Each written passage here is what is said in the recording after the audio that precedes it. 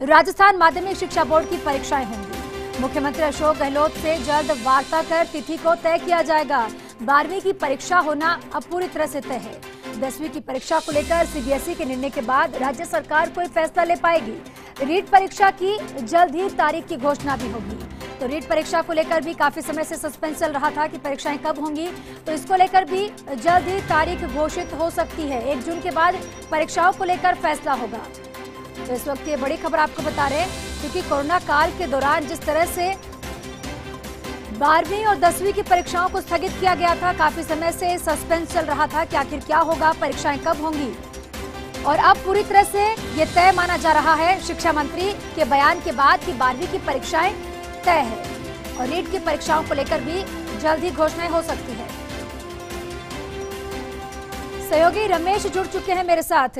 रमेश, काफ़ी समय से ये सस्पेंस चल रहा था कि बारहवीं और दसवीं दसवीं की परीक्षाएँ कब होंगी। दसवीं की अभी तक सस्पेंस है कि क्या होगा, लेकिन बारहवीं को लेकर अब ये तय हो चुका है कि परीक्षाएँ ज़रूर होंगी। बिल्कुल बताना चाहूँगा कि शिक्षा मंत्री ने ये बिल्कुल तय कर दिया है कि बारहवीं की परीक्षाएँ हैं, वो निश्चित रूप से होगी। साथ में ही सीबीएसई की परीक्षा होगी या नहीं होगी, ये केंद्र सरकार को तय करना है। रीट भर्ती से रिलेटेड ज़्यादा अपडेट्स पाने के लिए आप हमारी website R K alert dot in पर पा सकते हैं। लिंक आपको मिलेगा डिस्क्रिप्शन बॉक्स के अंदर, जाके चेक कर लीजिए या फिर आप यहाँ पे गूगल पे भी आके are K alert dot in search कर सकते हैं।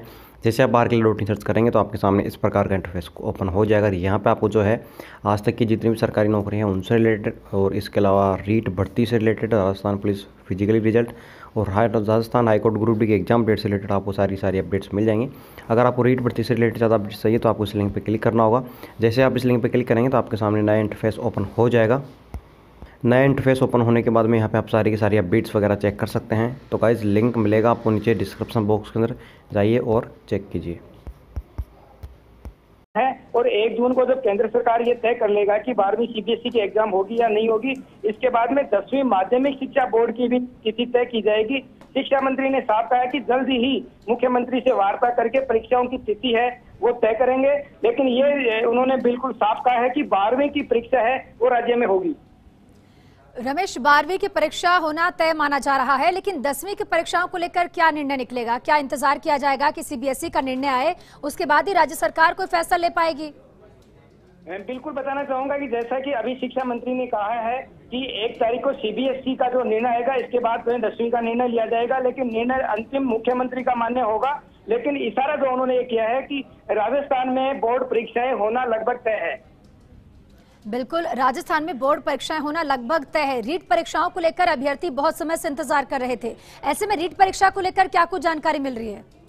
बिल्कुल, शिक्षा मंत्री ने कहा कि रीट परीक्षा के लिए ईडब्ल्यू e का जो फार्म भरवाया जाएगा दोबारा, इसके बाद जल्द ही तिथि घोषित की जाएगी, क्योंकि कोरोना संक्रमण काल चल रहा है। ऐसे में राज्य सरकार नहीं चाहती कि कहीं संक्रमण फैले, लेकिन जल्द से जल्द रीट परीक्षाओं की तैयारियों का भी उन्होंने इशारा किया है कि जैसे ही संक्रमण काल कम होगा, जल्द ही रीट की परीक्षा आयोजित करवाई जाएगी। बिल्कुल, तमाम जानकारी के लिए रमेश, बहुत बहुत शुक्रिया आपका। तो राजस्थान माध्यमिक शिक्षा बोर्ड की परीक्षाएँ होंगी, इसको लेकर साफ़ संकेत दिए हैं।